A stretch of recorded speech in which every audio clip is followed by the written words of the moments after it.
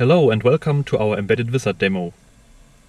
In this video we want to show a nicely animated user interface with touch control.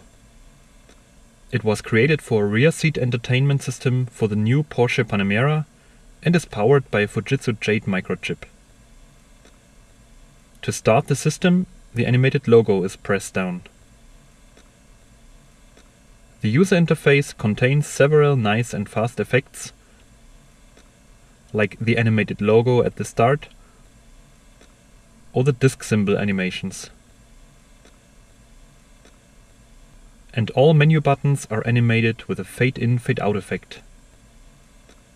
The entire UI application was created with the user interface tool Embedded Wizard.